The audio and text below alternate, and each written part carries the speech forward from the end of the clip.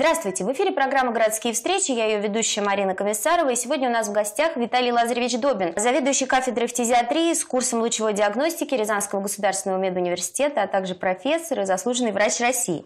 Здравствуйте, Здравствуйте. Виталий Лазаревич. А, встретились мы с вами в преддверии Дня борьбы с туберкулезом Всемирного. День борьбы с туберкулезом – очень важная дата э, в медицине. Расскажите, зачем его празднуют во всем мире, отмечают? День, собственно говоря, связан с выступлением известного немецкого ученого Роберта Коха. Вот, в 1882 году на съезде германских естествоиспытателей, на котором он сообщил о том, что открыл возбудитель туберкулеза. Вот это, собственно говоря, та дата, которую вот мы постоянно отмечаем. Вот. Ну, этот день как бы подведение итогов и намечание планов. Туберкулез – заболевание в э, прошлые века очень сильно распространенная, широко распространенная. Как обстоит дело, э, как обстоит дело на настоящий ну, момент ну, и сейчас, в мире, и в России? Сейчас, в общем-то, у нас здесь, конкретно в Рязанской области, состояние э, с туберкулезом, в общем-то, значительно улучшилось. Мы в числе одних из самых передовых областей.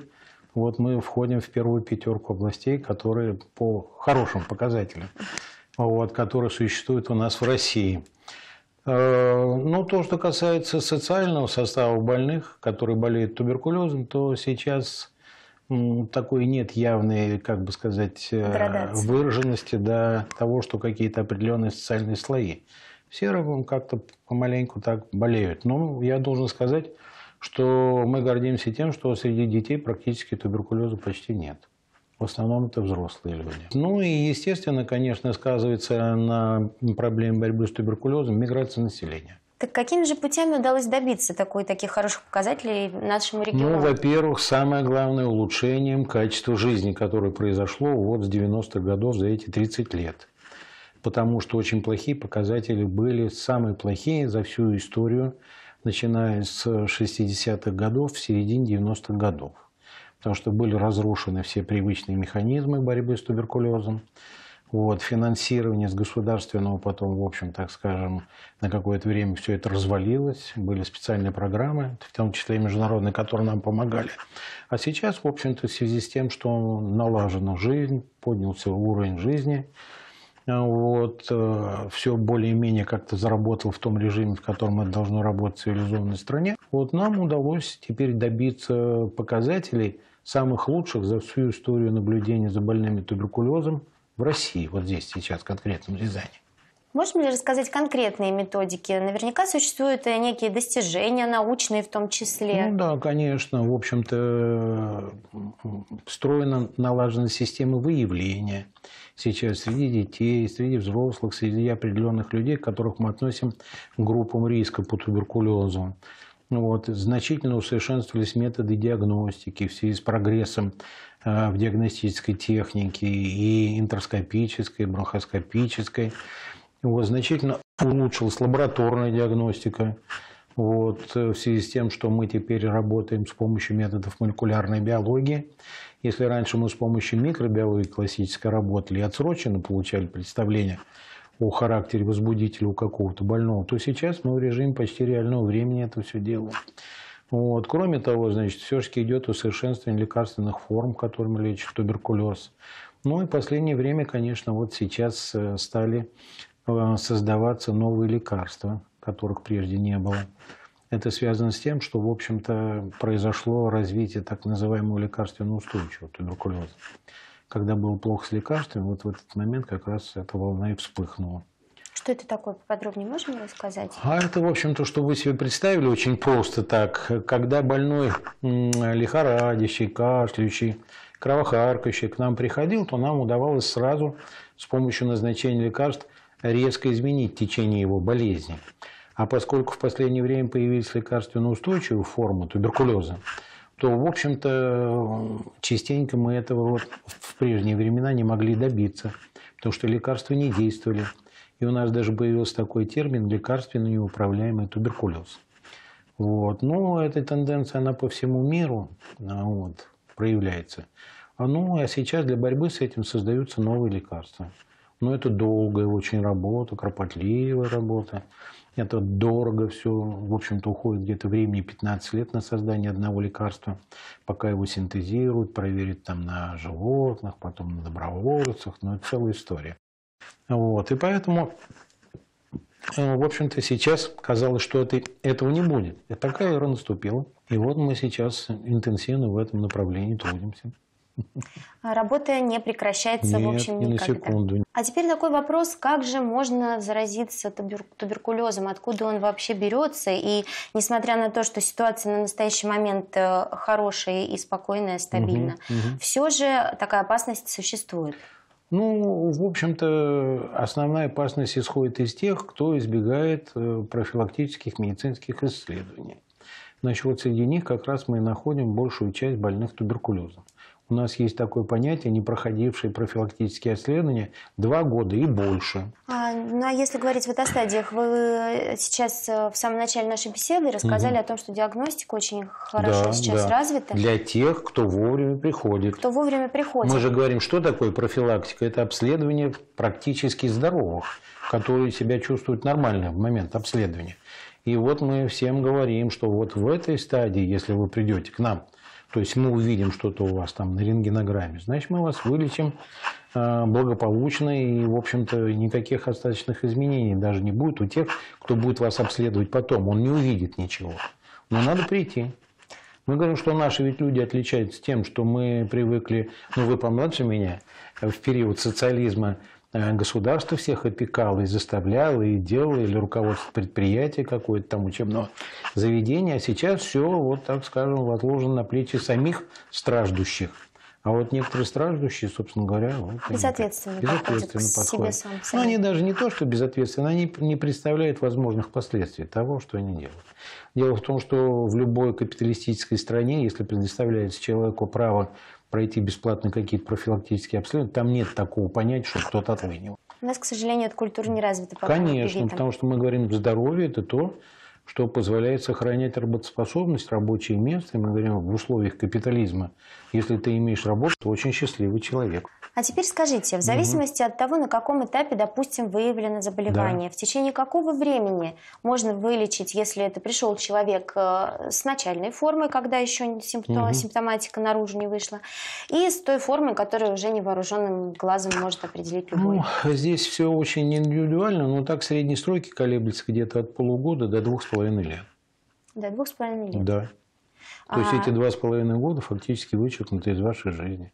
И в течение последующей всей жизни необходимо соблюдать, опять же, Ну, определенный образ жизни. Нет, дело в том, что те, кто у нас вылечивается, то они продолжают потом стоять в так называемых неактивных группах наблюдения. То есть мы э, фактором времени проверяем прочность заживления туберкулеза. Понятно? Вот. Если, значит, у него что-то происходит, даже тогда, когда он хорошо себя чувствует, мы его все равно профилактически обследуем, обследуем, обследуем с определенной кратностью. Вы у нас заслуженный врач России, еще Да. и практикующий по сей Да. день. А можете ли вспомнить какие-то очень сложные случаи, когда э, приходилось применить э, самые новые э, достижения медицины, чтобы Ну, вы помочь знаете, что человеку? здесь не столько вот всем хочется какой-то экзотики невероятной и так далее, но клинические ситуации бывают, как мы говорим, неотложными. Кровотечение, лопается легкое у человека от болезни. Вот в этих, э, собственно говоря, случаях мы действуем как пожарная команда. То есть, если мы вовремя не успеем погасить, этот человек может погибнуть. Вот, ну да, тут появляются новые лекарства для остановки кровотечения, новые методы остановки кровотечения, новый метод герметизации легкую. Значит, мы все это используем, конечно. У нас сейчас основные проблемы в фтизиатрии. Вот, это, во-первых, м, лекарственная устойчивость возбудителя. То есть те лекарства, которыми мы располагаем, у 3% примерно в среднем по России от 1 до 3% вообще не действуют. Старые. Поэтому вот мы сейчас стоим перед задачей создания новых лекарств. Второе – это распространенность ВИЧ-инфекции. ВИЧ-инфекция снижает очень резко противотуберкулезный иммунитет. И поэтому ВИЧ-инфекция выступает акселератором э, тяжести течения туберкулезного процесса. Кроме того, у нас очень большие миграционные процессы вот, в связи со всякими, так скажем, коллизиями общественными. Еще один момент – стареет население. Это мы называем э, коморбидные болезни, когда у пожилого человека не одна, там несколько уже возрастных болезней, естественно, они мешают тоже нам делать то, что мы делаем у молодых очень легко и просто. Очень актуальна, конечно, сейчас борьба с ВИЧ-инфекцией параллельно.